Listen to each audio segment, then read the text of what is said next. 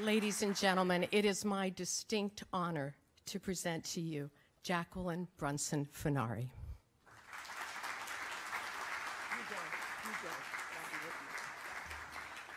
Thank you, Pam, and thank you for the opportunity to speak on behalf of my father, Pastor Andrew Brunson. My father has been unjustly detained in Turkey since October 7, 2016, after having lived peacefully there for 23 years. He has loved and served the people of Turkey, pastoring a small Protestant congregation.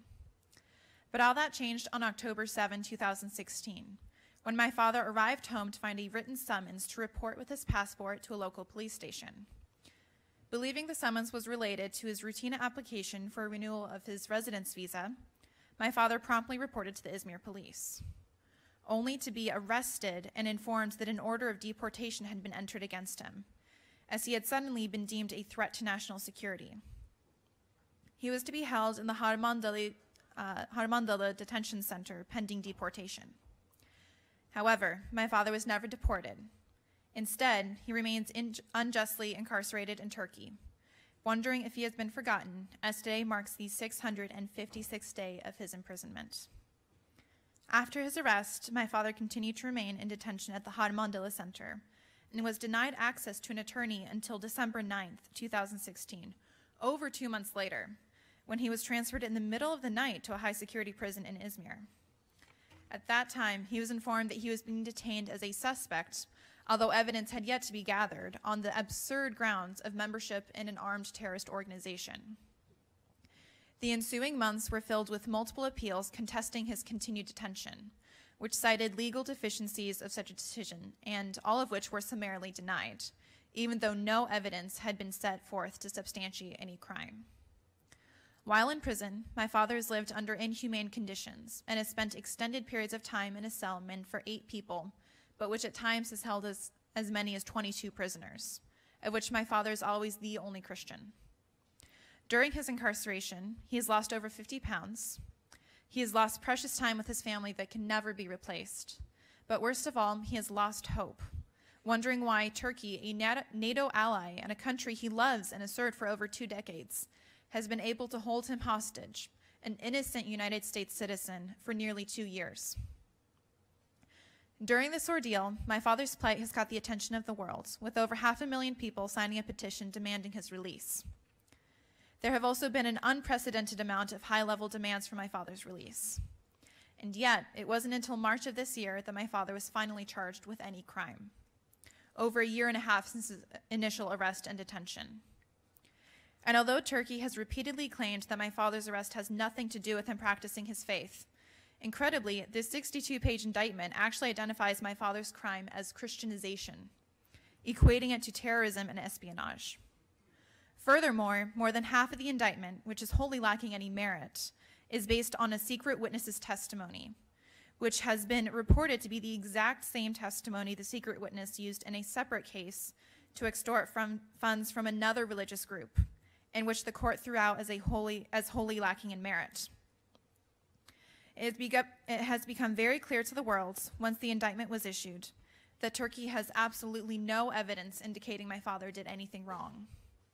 The trial dates have further proven that fact. He has now had three trial dates one on April 16th, one on May 7th, and one on July 18th, just this past week. It is important to note that during these three days, there has not been one prosecution witness that has been able to provide one shred of evidence to support their ridiculous testimony a fact that my father has specifically pointed out during the May 7th trial date, and a fact that none of the judges on the panel seemed to care about, as the head judge personally told my father that all the prosecution's witness testimony would simply be taken as truth, and therefore there was no need for any evidence. Furthermore, the court has stated that they will not allow anyone named as a suspect in the indictment to testify on my father's behalf. As the indictment names over 60 suspects, many of whom have personal knowledge and evidence to refute the ridiculous charges against my father, the court has effectively denied him a defense. My father has and continues to adamantly maintain his innocence and deny all the accusations. He has reiterated that his sole purpose for being in Turkey for the past 24 years was for one purpose only to tell about Jesus Christ. He has further stated that he has done this openly in front of the government. As the sham trial has played out before the eyes of the world, it is evident that there is no case against my father, and that Turkey does not intend to even try to pretend that a fair trial is taking place. And so the question remains why is Turkey still holding him? President Erdogan has actually answered this question on several occasions, as he and the Turkish government continue to demand a swap of my father for Fethullah Gulen, the cleric Erdogan blames for the failed coup attempt in July of 2016. Thus, my father's incarceration has simply been a bargaining chip for Turkey. However, I would submit that President Erdogan has mistakenly been led to believe my father's value lies simply in being a pawn in a swap. In reality, my father's greatest value to Turkey lies in President Erdogan's approval of his immediate release back to the U.S. as a sign of goodwill and as a major step toward restoring amicable relationships between Turkey and the United States. An invaluable move with immeasurable and long lasting benefits. We should use every effort to make sure that President Erdogan gets that message. My family has suffered greatly because of these absurd and false charges. My father should not be a pawn to be used in a political game. He's been falsely imprisoned for far too long. Having myself grown up in Turkey, it's been hard for me to understand the current state of events. My parents moved to Turkey in 1993, so that's where my par- that's why that's where my brothers and I grew up. To me, it was home. I grew up in a mix of Turkish and American culture, and I loved seeing the beauty in both. My family loved and respected the Turkish people, and my parents were dedicated to serving them for as long as they could. My brothers and I used to joke that we'd have to take our future children to Turkey someday to see their grandparents. As I grew up, I saw how my father poured himself into his work and how willing he was to sacrifice his needs for the sake of others. He believed, as I do, in a greater purpose in life and actively lived out his life with the purpose of showing people the love and grace of God. He taught this message in the home, too. My parents' continued commitment to serving God and the people of Turkey was such a wonderful example for both my brothers and I to see. I know my dad and his character, as only a daughter can, and I know that the charges against him are absolutely absurd and false. He is not an armed terrorist trying to overthrow any government. He is a pastor who went to Wheaton College, then on to seminary, and got a PhD in New, in, in New Testament. He has selflessly served Turkey for 24 years now, coming up to 25 this coming August. Every single thing in his life is centered on his faith, which is why seeing these absurd charges brought against him has been extremely painful for my family to experience.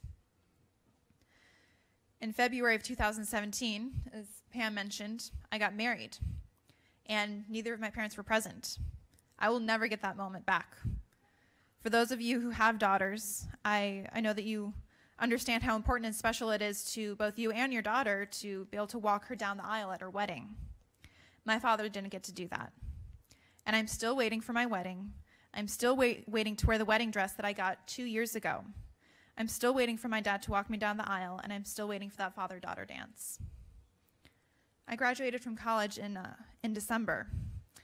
And one of the ways my father has really showed his love to my brothers and I is he's invested so much in helping us plan out our futures and our career paths. And he missed seeing me achieve yet another life milestone. And my brother is graduating from college this coming December as well, and he would love to be at least at that one. In his letters, this is what my dad says the hardest part of his imprisonment is missing out on being with his family. He's missed out on being with my older brother and helping him make career choices and witnessing his accomplishments at Cornell. He has missed being with my younger brother, who has so badly needed his mom and dad in the last year and is now a senior in high school. These are the things that pained my dad the most not being able to be with us and missing out on life with his family. In August of 2017, I took a risk and flew to Turkey to visit my father. It was the first time that I'd seen him in a year, and the only time I've seen him in the last two. I will never forget any moment of the day we got to visit. I remember hearing my dad's voice for the first time in a year as they brought him into the room. I remember how broken, tired, and desperate he sounded as he tried to fight with every fiber in his being to meet in a room where he could at least hug us and hold us for the only hour he would have seen us in the entire year. We sobbed the entire visit.